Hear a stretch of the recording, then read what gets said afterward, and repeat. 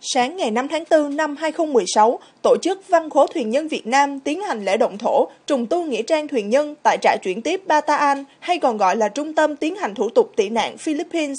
Hôm nay là ngày à, 5 tháng 4 năm à, 2016. À, chúng tôi là à, Trần Đông, à, Giám đốc của Văn cổ Thuyền nhân Việt Nam và anh à, Nguyễn Văn Sơn, à, đại diện cho VHAP, à, hai chúng tôi cùng đại diện cho cộng đồng người Việt ở hải ngoại. À, xin kính báo tất cả các anh chị em cùng hoàng thiên hậu thổ tại nơi đây. À, để à, xin phép mà chúng tôi được à, động thổ và à, bắt đầu cho cái à, công trình à, trùng tu à, tất cả mộ phần của thuyền nhân Việt Nam được à, ma táng ở nơi đây. Có khoảng 300 mộ thuyền nhân ở nơi này, trong đó có 12 cấu trúc kiên cố. Trong khi đó, những ngôi mộ còn lại hầu như chỉ được đánh dấu bằng những viên đá xếp thành một vòng tròn, không tên, không tuổi. À, kính thưa quý vị, chúng tôi đang uh, có mặt tại khu nghĩa trang của trại chuyển tiếp Bataan ở Philippines.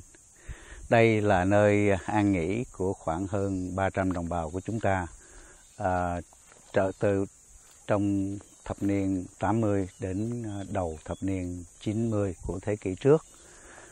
À, từ à, nhiều tháng qua, chính xác hơn là từ đầu năm 2015, à, với cái sự hỗ trợ về à, tài chính của tổ chức thuyền nguyện The Help từ Australia và cùng phối hợp với Văn khố Thuyền nhân Việt Nam, chúng tôi đã vận động với à, chính phủ Philippines để được phép à, trùng tu và xây dựng khu công viên tưởng niệm thuyền nhân Việt Nam tại nơi đây.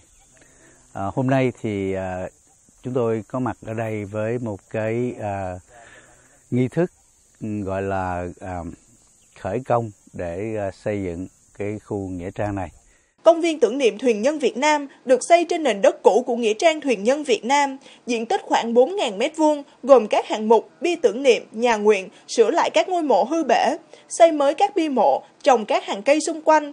Kinh phí dự tính khoảng 60.000 đô la Úc. Ông Manzo, nhà thầu công trình trùng tu Nghĩa trang thuyền nhân cho hay. Right now, no, we do the groundbreaking here at the Vietnamese Boat People Cemetery. Uh, Hôm nay, chúng tôi tiến hành lễ động thổ Nghĩa trang Thuyền nhân Việt Nam. Xong rồi, chúng tôi sẽ tiến hành xây dựng theo ý tưởng của ông Trần Đông và Nguyễn Sơn. Tuần sau, công nhân chúng tôi sẽ đến đây để tiến hành công tác trùng tu. Chúng tôi không biết chính xác thời gian sẽ hoàn thành. Chúng tôi sẽ làm đúng những gì trong kế hoạch và trong các hạng mục Nghĩa trang Thuyền nhân Việt Nam. Dự kiến việc trùng tu xây mới Nghĩa trang thuyền nhân Việt Nam Bataan sẽ diễn ra từ 3 đến 4 tháng. Sau khi hoàn tất, đoàn văn khố thuyền nhân Việt Nam sẽ tổ chức chuyến đi để khánh thành, cầu nguyện cho vong linh của những người nằm lại nơi này. Phóng sự của SBTN tường trình từ Bataan, Philippines.